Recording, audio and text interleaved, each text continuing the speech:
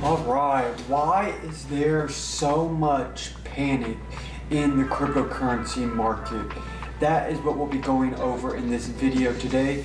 Along with, I'll be dropping two of the gems that I have my eye out and the price targets where I'm gonna be looking at adding them and stacking them in my portfolio and overall strategy. So let's go ahead and jump over to the charts and take a look at what is going on in Bitcoin and cryptocurrency. It never fails once we get towards the bottom of the consolidation phase that everything starts to go into panic mode. And if we take a look at Solana, and that, that's where all the attention is right now, we can see we're at 162 and we have been steady selling off which is not the best. But there's no reason to panic. We can see that we're still in this consolidation phase right around 190 and 159. Now, if we start breaking below here, we're going to enter, that's when panic's going to start setting in. And we could bounce, and that's what I'm hoping for at this moment is that we bounce, trail out, and start consolidating a little bit more. So it'll look something like this. It'd be great. And then we just go boom, break up to the upside. But that, again, that may not happen. At the moment, we could, again, another great possibility would be to sure up this bottom and even just consolidate right around here, that would be even a good bullish sentiment to really sure up these one six. If we go and look over at Bitcoin,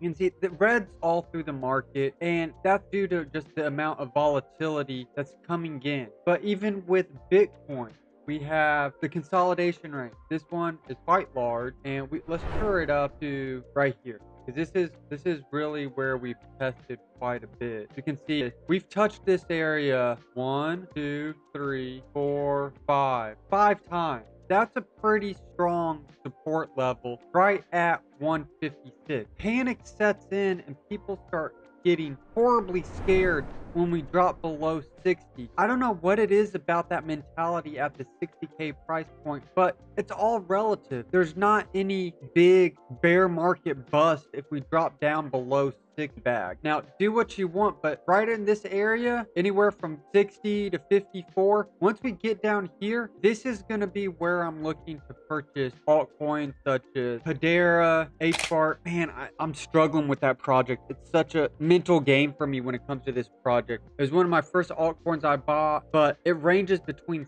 6 and 11 cents, which is just terrible, terrible. But they have all the partnerships, which is just amazing, supposedly. But I need more out of Hedera. They've been around for a long, long time. Step it up, Hedera. HBAR, give me a 25 cent price target. That's what I want to see. Again, ICP fam, I appreciate y'all out there. ICP, I'd start stacking up around here as well. I would love to see ICP again at $25 would be ecstatic for me. But that's where the price targets are that I'm going to be looking at once we drop down below here. Right now, we're at 63K, but I really need to push down so I can start stacking up my altcoins? Or can we get a weekly close over 70K? That's what I'd love to see. Close on the weekly. Let's go ahead see when was the last time we closed a weekly candle over 70K? We got really close right here. This was at, we closed at 68. You know, we pushed up to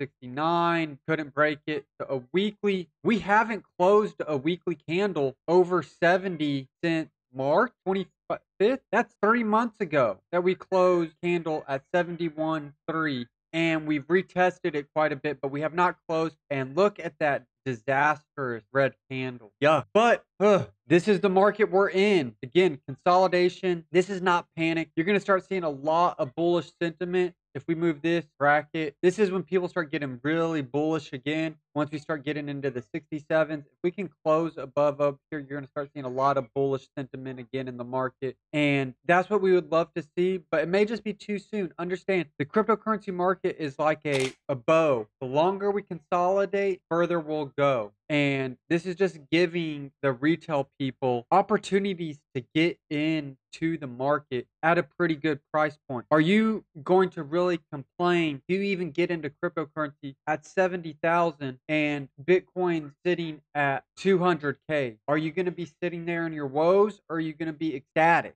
Again, not financial advice, but these are the mind games and the mental gymnastics that we have to go through in the cryptocurrency market of fear, the uncertainty, uncertainty of sitting on the sidelines. But you have to make the decision if you're going to be a Bitcoin maxi and just play that game, or are you going to jumble around in all the alts? That's up to you. But this video really was just to kind of give you a good feel of where crypto sentiment is right now, how to read the market. Why does everyone start getting super bearish once we drop below 65k? And that's going to be because of the people that are just day trading and are super scared. But it's okay. Take a breath, step away from the chart, spend some time with your loved ones, and relax. It'll be okay. If you received any value whatsoever from this content, go ahead and make sure to like, subscribe, and turn on those notifications. It definitely helps motivate me and gives me amped up to come out here and keep pushing out this content. And if you're brand new to cryptocurrency, go ahead and make sure to check out this video right here. It'll show you where and how to get started.